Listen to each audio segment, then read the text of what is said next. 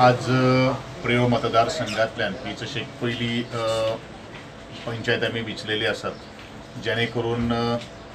प्रत्येक वर्सा आमी झाडां वाटपाचो कार्यक्रम करतात. झाडां ही आमच्या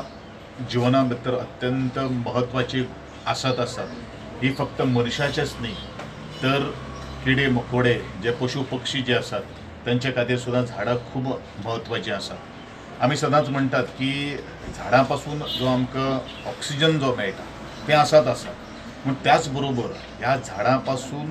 ज्या बाकीचे सगळे मानव जाती ज्यो आसा तेंचे खातीर सुद्दां ही झाडां